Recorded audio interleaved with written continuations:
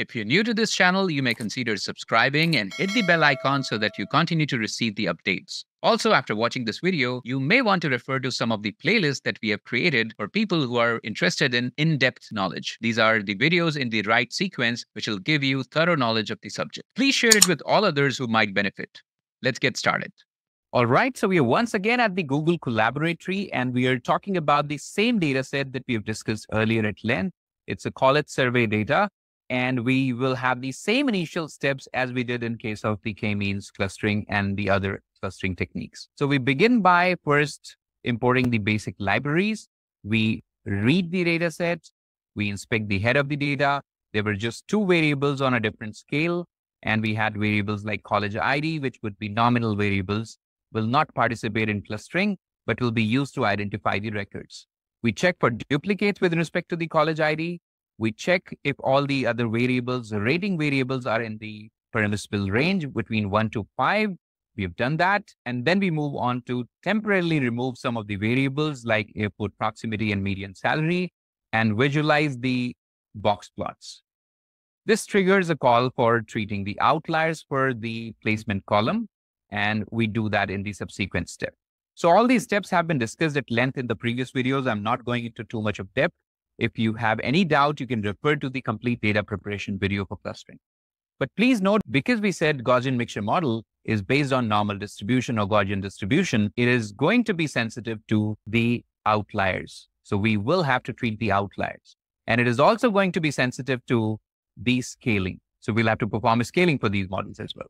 So in this process of data preparation, we've checked for all the variables. They're free from outliers. We are checking for correlations and we don't find any significant correlation as such. All of this we've seen earlier as well. Then we are finally performing the min-max scaler, that too specifying a range for the features like airport proximity and median salary, so that they're all in the range of one to five. Finally, we are checking the descriptive stats just to confirm that the variables are in the range of one to five. And we are concatenating the scaled features to the copied data frame. And then finally, here onwards, the Gaussian mixture model starts. So just like the other clustering techniques, we will begin by importing the Gaussian mixture class from the appropriate scikit-learn module, which is sklearn mixture. Then for Gaussian mixture models, once again, we have to mention the number of distributions that we want. Since we explained the theory using a one-dimensional example in two Gaussians, but for this data set, if you remember, we've always used three clusters. That's the number we are passing. And we are also mentioning a random state. Why this random state is important? Because in Gaussian mixture models, again, just like k-means, there is a random initialization of those Gaussian distributions. We're doing a fit predict on the scaled and treated data, data that's free from outliers and on the right scale. Once that is done, we can store the labels to the copied data frame and the actual data frame. Let's just check the head of the data frame. So we have the Gaussian mixture model labels by now. If you see the execution is pretty similar to the rest of the algorithms that we have seen. It's just the logic under the hood that helps us arrive at those cluster labels is very, very different. Similarly, we can check the head of the original data frame. Why are we plugging this to the original data frame as well? Because the original features will be a little more interpretable. And finally, we can check the value counts just to see the size of Gaussian clusters that we formed. So in cluster label one, we have 38 observations, cluster label zero has 35 observations, and cluster label two has 27 observations. We are grouping by the cluster labels and trying to aggregate the features at the median level. This is how the outcome is. So once again, we can see in this case, let's say cluster label two seems to be lagging at most of the places in terms of the ratings by the students.